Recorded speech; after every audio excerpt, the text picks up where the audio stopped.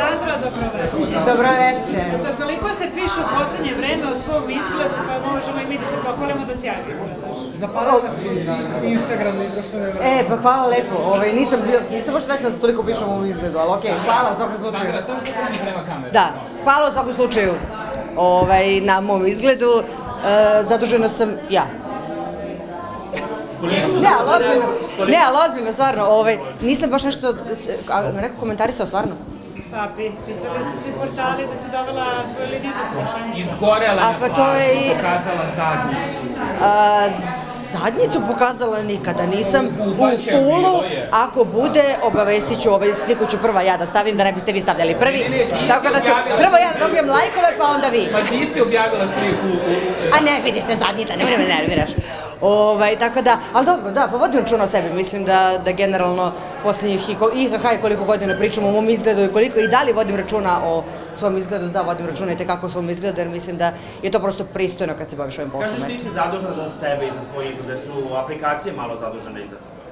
Pa ne znam, evo sad me slikate ovako, pa onda uđete na moj Instagram profil pa vidite da su zadužene aplikacije. Znači ti nisi jedna od onih koja Pa, da, bilo bi me jako blam, znaš, da ovaj, napravim onaj face up i da iskoristim sve one tačkice, sve, sve, sve, sve, sve, sve. Znaš, onda se pojavim onako na nastupu ili ovako na nekom intervju i onda izgledam izobličeno i počnem da ličim na, ne želim da imenujem. Dobro, aplikacije nisu, neki frajer.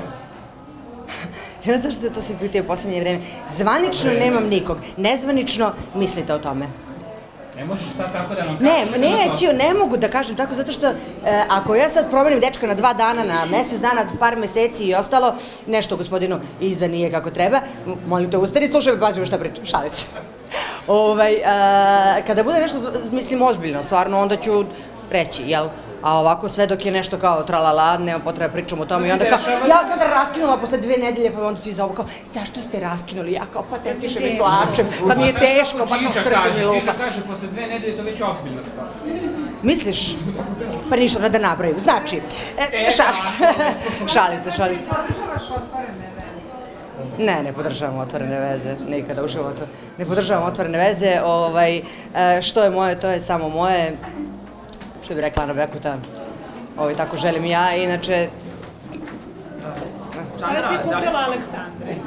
Aleksandra sam kupila e, nešto što će moći da drži u kući, e, zato što sve drugo što sam joj kupila za odevne kombinacije, nakid, zlato, sve to ništa ne nosi, apsolutno nikad nije. E, za deset godina koliko se poznajemo, ponela, tako da sam prestala da joj kupujem stvari za nju, sad joj kupujem stvari za kuću. Da li je to nešto što je kupljeno u seksi shopu, pa stoji u kući?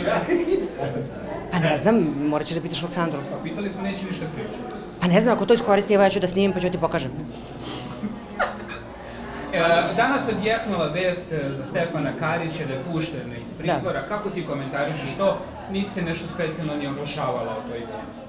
Pa nisam se oglašavala o toj temi, e, kogod me je pitao, ja sam rekla da ako se ispostavi da je kriv i ako ga zakon osudi, da apsolutno e, ću ga osuditi i ja, bez obzira što će on ostati moj drug i dalje, i dalje je moj drug i bit će. Ovaj, e, ne želim uopšte da opravdavam bilo kakvu vrstu nasilja ni nad ženama, ni nad muškarcima, ni psihičko, ni fizičko, uopšte to za mene nema razlike. E, ja sam rekla ako je Stefan kriv i ako bude se ispostavilo da je kriv, prvo ću da ga osudim, ako treba i javno.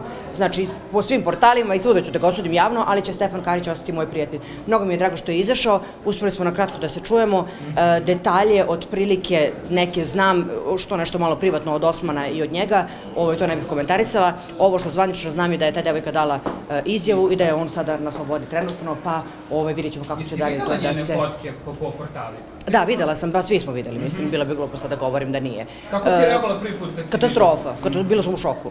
Prvo naslovi su mi bili šokantni, ja ne znam e, koliko poziva sam uputila da ga pitam e, gde si i jer se zapravo to desilo. Ali s obzirom da je on tad bio, kao što svi znate, nedostupan apsolutno i za svog oca, a kamoli za mene, tako da ovaj, nisam uspela da dobijem odgovor. E, nisam ga ni sad pitala o tome, eto iskreno da kažem, sad kad smo razgovarali, bitno mi je bilo samo da je dobar, da je živ, zdrav i da je stigao kući. Šta ti je pa rekao kada ste se čuli? A, Jesi ga pitala prvo? Ne, ali ja sam, ja sam videla da je on izašao i ja mu šaljem poruku, jesi ti to izašao? Znači, ja i moj mozak, ali ovaj, onako od, od uzbuđenja nekako, tako da ono, i on je rekao samo, ovaj, a, kod mame sam trenutno, zovem te posle, volim te, eto, to je to. Jel ideš sutra kod Osmana na, na rođendan? E, pa ne, ne razmišljam ovaj, toliko daleko, tako da ovaj, hoću prvo da se oni kao porodica malo dođu sebi pa ćemo polako, sve jedno po jedno.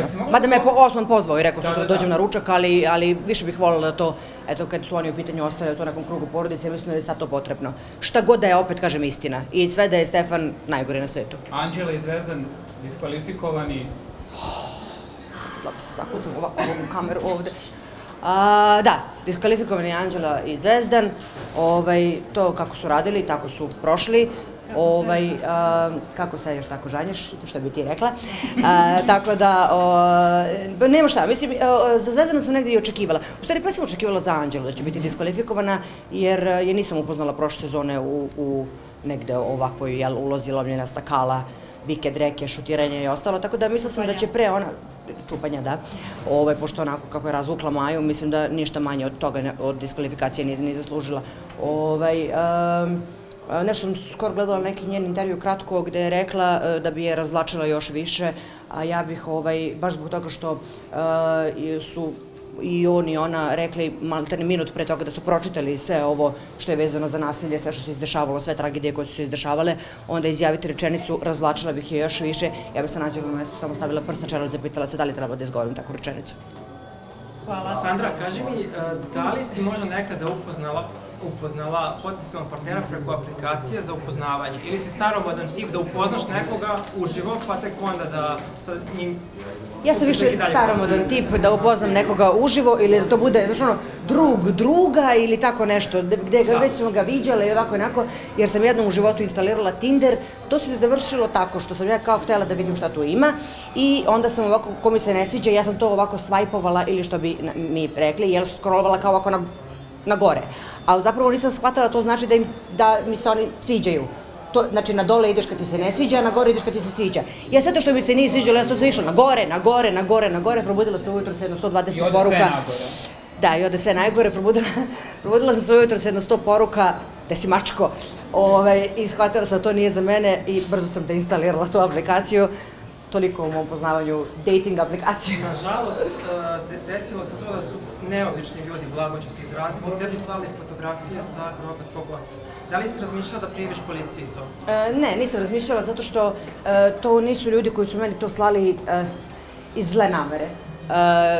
Ljudi koji su to slali i slike, mislim, poslati bilo kome sliku groba, bilo koga u, u porodici, za mene su katastrofalne stvari, bez obzira kakav je to um, ne mogu da kažem povod. To, e, on je, taj dečko je hteo meni da eto, dočara kako on posećuje grob mog oca i kako eto, da mi slika kako to sad izgleda. E, ja e, se gnušam takvih stvari jer sam samo rekla i to ću ponoviti uvek, zamislite da ja idem po daleko bilo grobovima vaših najmilijih, slikam, šaljem vas slike i kažem, e vidi kako je super sve, Tako da to su za mene boleštine.